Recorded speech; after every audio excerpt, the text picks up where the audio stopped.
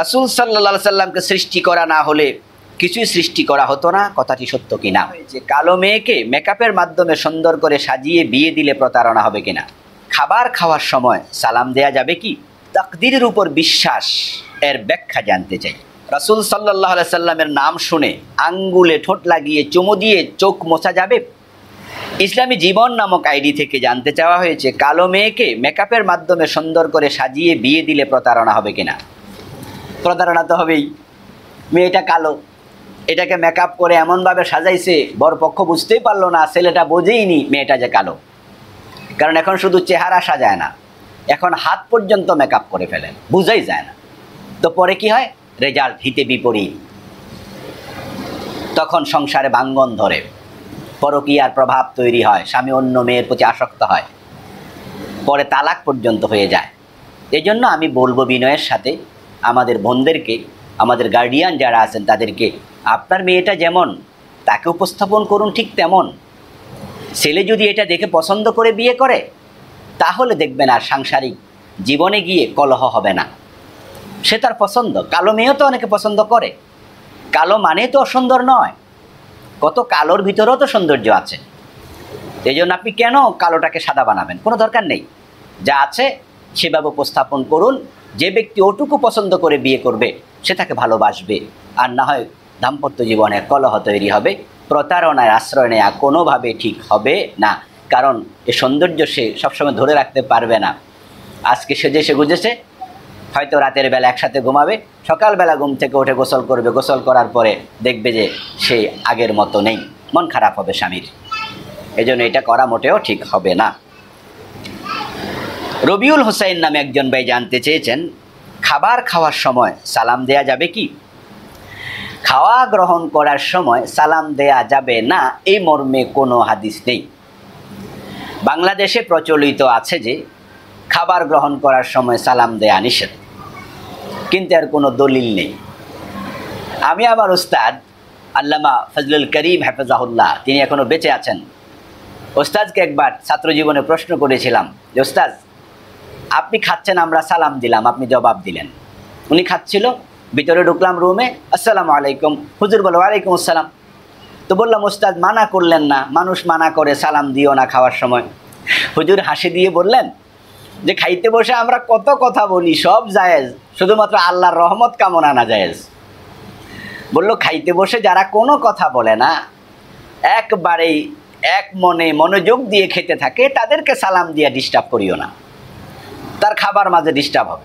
আর যারা গল্প গুজব, কথাবার্তা সব বলে, তাদেরকে সালাম দিলে ডিস্টার্ব হবে কেন? হুজুর হাসি দিয়ে বললেন যে, সালাম দিতে নিষেধ, এমন কোনো হাদিস নেই। বিপ্লব হোসাইন নামে একজন ভাই জানতে চেয়েছেন। তাকদিরের উপর বিশ্বাস, এর ব্যাখ্যা জানতে চাই।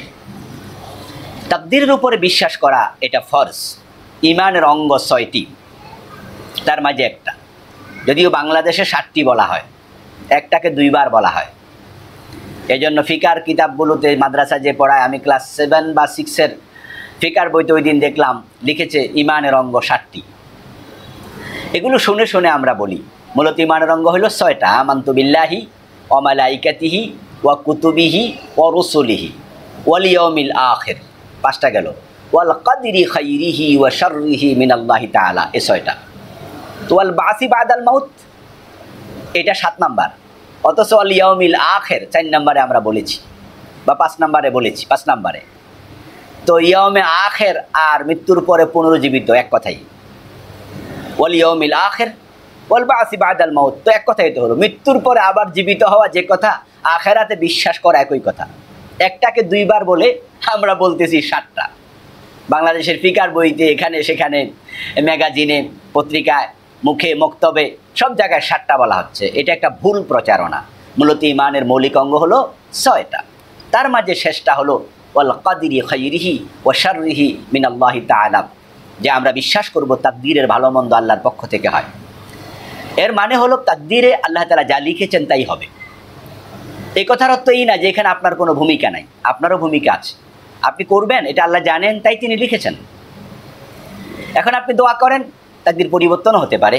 হাদিস আর তাকদির দাইয়ারুদ্দু ইল্লা বিদ্দোয়াহ রসল্লাহ সাল্লাহ সাল্লাম বলছেন, তাকদির, দোয়া সারা পরিবর্তন হয় না। তাহলে বোঝা গেল আল্লাহ যেটা লিখেছেন, সেটাও পরিবর্তন হতে পারে। তাকদির দু প্রকার, তাকদির মোবরাম, তাকদির মো আল্লাহ একটা পরিবর্তন হবে না, এটা ফাইনাল। আল্লাহ কোনটা ফাইনাল করছেন, এটাও আমরা জানি না।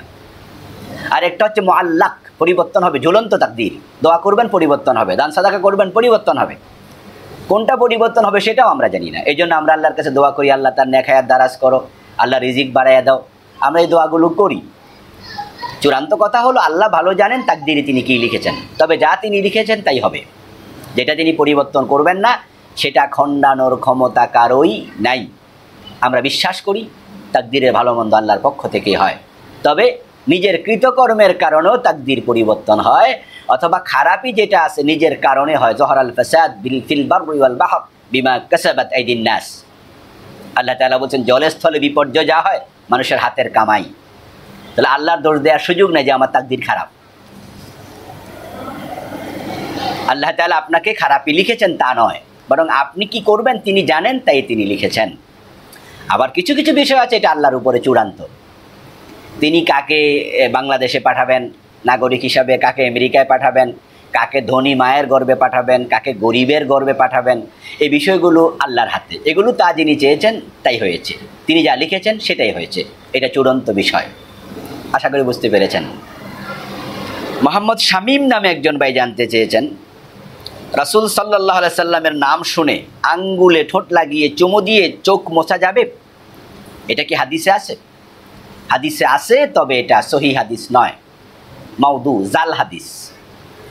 জয়ীফ হাদিসও নয়। রাসুল সাল্লাহ সাল্লামের নাম শুনে অনেকে, কর্রাতা আইনি বিকাইয়া রসুল আল্লাহ বলে এভাবে দুই হাতকে এভাবে লাগাইয়া তারপরে চোখে লাগায়। বলে যে এভাবে লাগালে আর চোখ উঠবে না। এ সংক্রান্ত দু তিনটি হাদিস পাওয়া যায়। আমি আমার বেদাত বইতে এটা লিখেছি, প্রচলিত বেদাত ও তা থেকে বাঁচার উপায়। এ বইটি আপনারা সংগ্রহ করবেন হাসান পাবলিকেশন থেকে। ওদের ফেসবুক পেজ আছে। আমার লেখা সবগুলো বই ওদের কাছে আছে। ওই পেজে নাম্বার দেয়া আছে, ফোন দেবেন, আপনার বাড়িতে ডাকের মাধ্যমে বই পাঠিয়ে দেবে। ওই বেদাত বইতে আমি বিস্তারিত লিখেছি দলিল দিয়ে, যে হাদিসগুলো মাউজু জাল। সুতরাং জাল হাদিস আমল করার কোনো সুযোগ নেই। মাহবুব আলম নামে একজন ভাই জানতে চেয়েছেন, হুজুর, আয়াতুল কুরসি পড়ার আগে আউজুবিল্লাহ পড়ব না বিসমিল্লাহ পড়ব? দুটোই পড়বেন। কোরআন তো এটা। সুতরাং আপনি আউজুবিল্লাহ পড়ুন বিসমিল্লাহ পড়ুন, অসুবিধা নেই। তবে আউজুবিল্লাহ পড়বেনই, যেহেতু এটা কোরআনের আয়াত। বিসমিল্লা না পড়লেও চলবে, পড়া উত্তম। কবির খান নামক একজন ভাই জানতে চেয়েছেন, জেনে শুনে হারাম টাকা মসজিদের কাজে ব্যয় করা যাবে কিনা? ঠিক হবে না। ঠিক হবে না। মসজিদের জায়গা পাক হওয়া, সেজদার জায়গা পাক হওয়া আবশ্যক। আর কান হাকাম তেরো ফরজ এক নম্বরে শরীর পাক, দুই নম্বরে কাপড় পাক তিন নম্বরে নামাজের জায়গা পাক। তো নামাজের জায়গা না পাক হবে, আপনার সুদের টাকা দিয়ে টাইলস কিনলে, সুদের টাকা দিয়ে সিমেন্ট কিনলে, বালি কিনলে, এই জন্য ওই জায়গাটা নাপাক বানাবেন না। হারাম টাকা মসজিদে দেবেন না দেওয়া উচিত হবে না। যদি কেউ দেয়, সেটা টয়লেট বানাবেন। যদি এমন কোনো লোক আছে যে হারাম টাকা দিছে, আপনি জানেন, মসজিদে খরচ করার জন্য। না নিলে মাইন্ড করবে, এলাকার নেতা, তার টাকাটা নেবেন, কিন্তু মসজিদে না লাগাইয়া এটা দিয়ে টয়লেট বানিয়ে দেবেন। এরপরও মসজিদে হারাম টাকা লাগাবেন না। শামীম ভাই আরও জানতে চেয়েছেন, রাসুল সাল্লা সাল্লামকে সৃষ্টি করা না হলে কিছুই সৃষ্টি করা হতো না, কথাটি সত্য কি না একটি হাদিস আছে, তবে হাদিসটা নিয়ে কিলো কাল আছে? লাউলা কালামা খালাকুল আফলাক। অধিকাংশ মহাদ্দিসেরাকে জাল বলেছেন, জাল। কেউ কেউ বলেছেন জাল নয়, তবে এই প্রসঙ্গের হাদিসগুলো মহাদ্দেশদের বক্তব্যের আলোকে অধিকাংশ যেহেতু জাল বলেছেন, তাই আমরা সতর্ক থাকব। প্রচার করা থেকে, বিশ্বাস করা থেকে। ইমরান নামে একজন ভাই জানতে চেয়েছেন, সঙ্গত কারণে কোনো মেয়ে তার স্বামীর বাড়ি থেকে চলে এসেছে। এখন স্বামী তালাক না দিলে এ মেয়েটি কি আরেকজনকে বিয়ে করতে পারবে? সঙ্গত কারণ, স্বামী অ্যাক্সিডেন্ট করেছিল। এই অ্যাক্সিডেন্টে তার পুরুষত্ব চলে গেছে। অর্থাৎ তার লজ্জাস্থান আঘাতপ্রাপ্ত হয়েছে।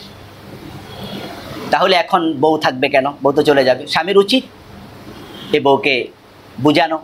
তুমি থাকলে থাকো, একটু সবর করো, আমি অসুস্থ হয়েছি।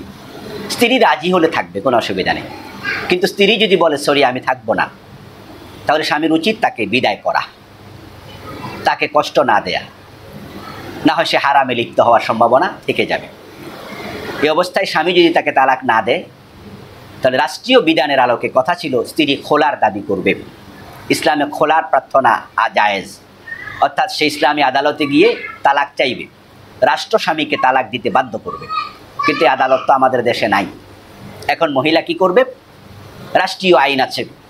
সে আইনের আশ্রয় নেবে। আইনের মাধ্যমে খোলা যেটা স্বামী দেওয়ার কথা ছিল, সেটা সে না দিলেও রাষ্ট্রীয় আইনের মাধ্যমে সে ডিভোর্স করবে। ডিভোর্সটা রাষ্ট্রীয় আইনে স্বীকৃত, যদিও এটা খোলা নয়, কিন্তু এটা খোলার মতোই।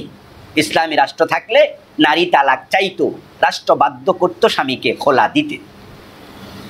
তো এখন এই নারী রাষ্ট্রীয় আইনের আশ্রয় নেবে, স্বামীকে নোটিশ করবে, তারপরে রাষ্ট্র এটার সমাধান দেবে, যেটা আমরা নারীদের ডিভোর্স বলে থাকি।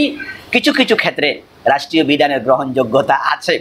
ইসলামী রাষ্ট্র যেহেতু নয় তো খোলা নাই। এখন কি হবে? এই মেয়েটা এই স্বামীর কাছে পড়ে থাকবে? সে থাকতে রাজি নয়, এখন কি করবেন? এখন আমরা যদি বলি, নারী তালাক দিতে পারবে না, তো ছেলে তো দিচ্ছে না। রাষ্ট্র তাকে বাধ্য করছে না, এখন ওই নারী কি করবে? তা আপনি বলবেন, কিও করবে না? তাহলে তো চলবে না। একটা সমাধান তো চাই। এজন্য এখন আমাদের দেশে ডিভোর্সটাকে খোলার মতোই মনে করা হচ্ছে। এটা বুঝে শুনে দিতে হবে। আলেমদের সাথে পরামর্শ করে যে সিদ্ধান্ত নেওয়ার জন্য আমি অনুরোধ করছি।